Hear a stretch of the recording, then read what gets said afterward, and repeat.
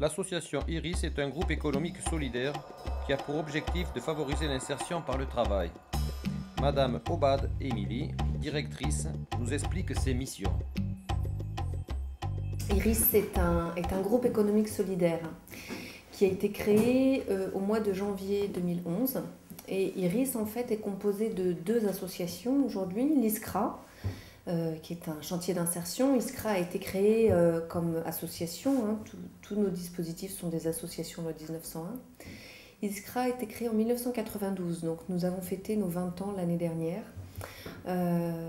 et l'autre dispositif étant l'ARCSI, euh, qui est une association intermédiaire qui existe également sur le Couseran depuis 2005.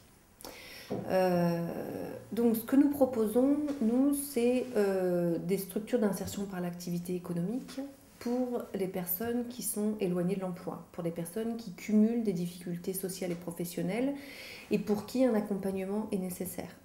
Ce sont des personnes qui nous sont orientées, qui nous sont envoyées par le pôle emploi, par la mission locale, par Cap Emploi, qui s'occupe plus particulièrement des publics qui sont euh, en situation de handicap, ou par les services euh, du Conseil général, pour les bénéficiaires du RSA notamment. Donc nous, notre spécificité, c'est de, salarier ce type de public. Euh, alors pour cela, nous leur proposons un contrat de travail. Et au niveau d'ISCRA, ce qu'on leur propose, c'est d'intégrer une équipe avec un encadrant euh, technique. Euh, ce sont des équipes, donc on a trois équipes, une équipe sur euh, Castel il y a entre 15 et 18 personnes par an, une équipe sur Saint-Giron, une vingtaine de personnes, et une équipe sur le Mas d'Asile où ils sont entre 8 et 10. De manière à ce qu'on puisse couvrir tout le secteur du Couseran, de la Rise et de la Lèze. Au niveau de l'ISCRA, donc nos, supports, je dirais, les travaux qu'on réalise euh, pour le compte des communes, des communautés de communes, du Conseil général, euh, de RDF, des offices de tourisme, pour l'entretien notamment des sentiers de randonnée, euh, mais aussi d'entreprises, de différentes collectivités. ce sont essentiellement des travaux d'espaces verts et des travaux forestiers. On réalise tout l'entretien et le balisage des sentiers de randonnée. On réalise également euh, l'entretien euh, des berges de rivière. Donc on, a des contrats, on répond à des marchés pour certaines communautés de communes, notamment la communauté de communes du canton de Massat, pour entretenir les cours d'eau, les berges. Euh, on réalise également le ramassage des encombrants pour le compte du SICTOM, donc on sillonne euh, toutes les communes euh, du Couseran pour pouvoir collecter en fait les encombrants. Et ce qu'on réalise également, c'est l'abattage, le débroussaillage, l'abattage pour le compte du syndicat des collectivités électrifiées, le SDCEA, qui nous confie en fait le, le nettoyage ou l'ouverture des tracés où il y aura donc des extensions de lignes ou alors de la dépose de ligne pour enfouissement. Euh, le SDCEA est un client euh, de, l'ISCRA depuis euh, de nombreuses années. C'est une, grosse entité hein, qui nous fait confiance depuis plusieurs années. on a plusieurs chantiers par an à travers tout le Couseran. et donc l'objectif étant de, de mettre à profit les compétences et la formation reçus par nos salariés sur des techniques d'abattage, de débroussaillage et de tronçonnage. Euh, donc ça peut être des chantiers de quelques jours ou de, plusieurs semaines en fonction de, la longueur du tracé, je dirais, et de la complexité des travaux. Euh, nous, sommes, nous, nous, avons formé en fait nos salariés de manière à ce que toutes les mesures de sécurité soient euh, bien sûr réunies.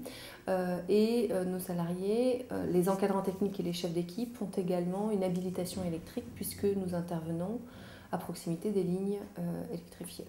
Ce, chantier-là se trouve sur la commune de Saint-Ain, donc dans, le, dans le Biros.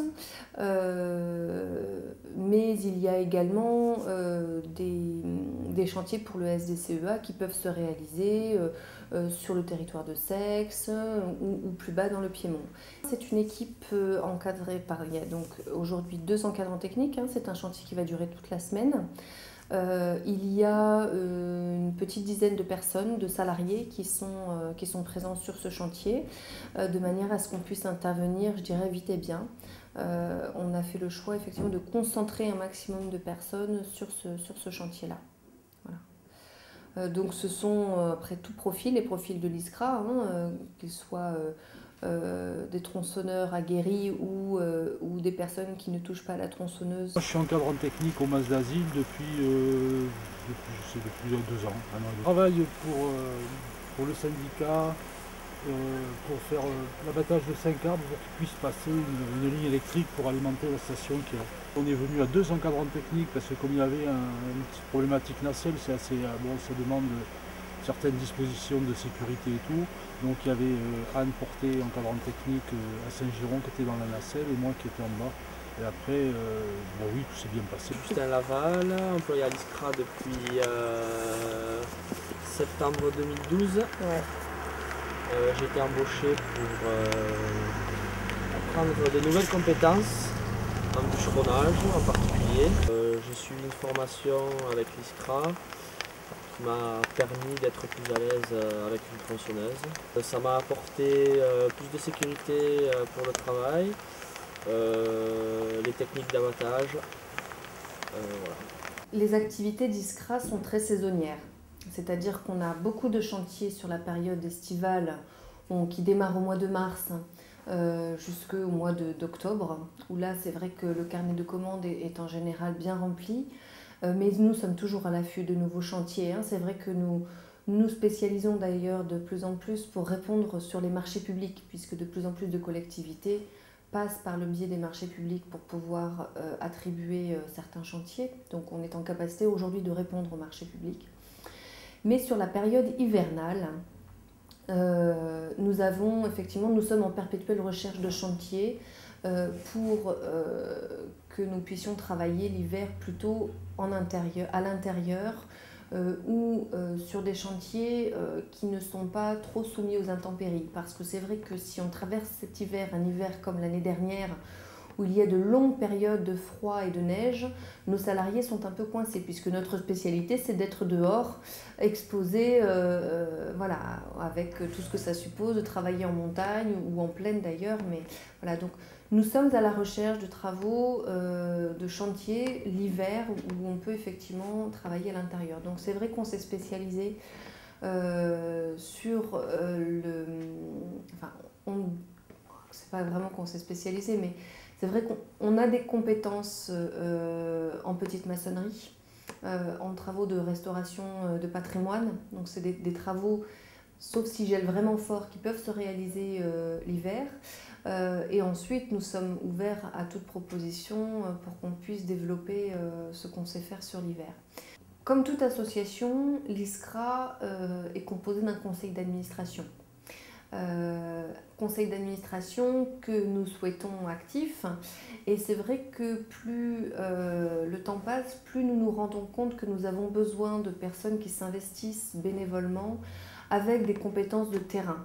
Aujourd'hui, euh, plus des administrateurs euh, qui composeront le, conseil d'administration d'ISCRA euh, pourront apporter leurs compétences, leur carnet d'adresses, leur savoir-faire en termes techniques plus on sera donc une structure euh, vraiment euh, forte sur le territoire, euh, même s'il y a un réel ancrage d'ISCRA en Couseran, nous avons besoin de, de, toutes ces forces vives pour pouvoir fonctionner pleinement et complètement.